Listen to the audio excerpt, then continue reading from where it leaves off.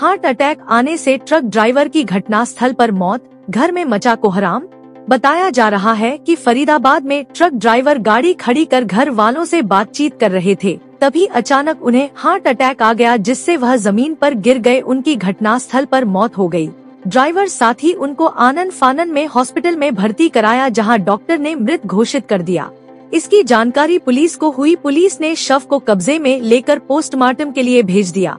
बता दे कि गंभीरपुर थाना अंतर्गत ग्राम जगजीवनपुर निवासी अवधेश मौर्य पुत्र श्री राम मौर्य 2 सितंबर को घर से रोजी रोटी के लिए दिल्ली गए हुए थे। अवधेश को अचानक हार्ट अटैक आ गया, जिससे उनकी मौत हो गई। मृतक के हालात दैनिक है। घर में कमाने वाला एकलौता था। मृतक के पास छह बच्चियाँ और एक लड़का था। लड़का सात साल का है। तीन बच्चियों की शादी हो गई है। दो बच्ची अविवाहित है। मृतक का शव घर पर आते ही कोहराम मच गया। परिजनों का रो रो कर बुरा हाल है। पत्नी कह रही थी अब किसके सहारे हम अपने बच्चों को जिलाए खिलाएँगे? शादी कैसे करेंगे? हमारी तो बगिया उजड़ गई।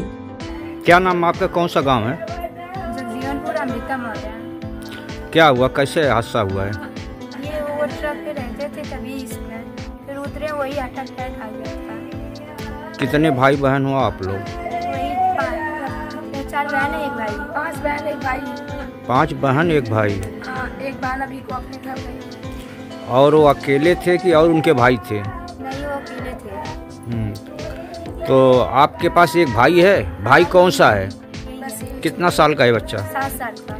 सात साल का। और पाँच बहनों में शादी कितने लोगों की हुई है? तीन लोग की शादी हुई है तीन लोग की नहीं। कोई लोग की शादी हो चुकी दो लोग तो उसमें जैसे आपके घर पे और कोई कमाने वाला है? है। केवल एक घर के सहारा थे?